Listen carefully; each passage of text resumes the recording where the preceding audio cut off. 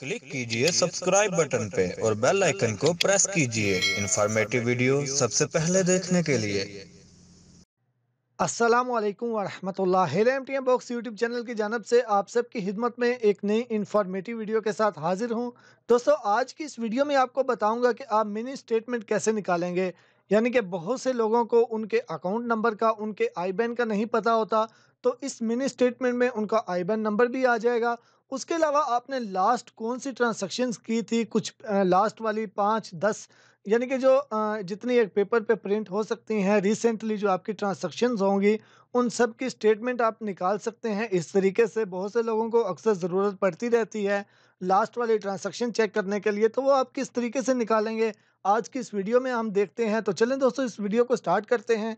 इससे पहले मेरी आप सबसे रिक्वेस्ट है, जो हमारे चैनल पर नए हैं इन्फॉर्मेटिव वीडियोस बैंकिंग के रिलेटेड और बहुत सी वीडियोस देखने के लिए हमारे चैनल को ज़रूर सब्सक्राइब कीजिएगा और बेल आइकन के बटन को भी प्रेस कर दीजिएगा ताकि इन्फॉर्मेटिव वीडियो की नोटिफिकेशन आप तक बासानी पहुँच सके, जैसे ही हम वीडियो को अपलोड करें। और दोस्तों, हमारी वीडियो को अपने दोस्तों के आगे ज़रूर शेयर कीजिएगा। तो चलें दोस्तों, हम एटीएम मशीन पे आ जाते हैं। एटीएम मशीन पे आने के बाद इसमें मशीन में हम अपना एटीएम कार्ड जो है, इसको डाल लेंगे। आपका क्विक पे का अकाउंट है या अल का अकाउंट है, बिल्कुल तरीका सबके लिए सेम है।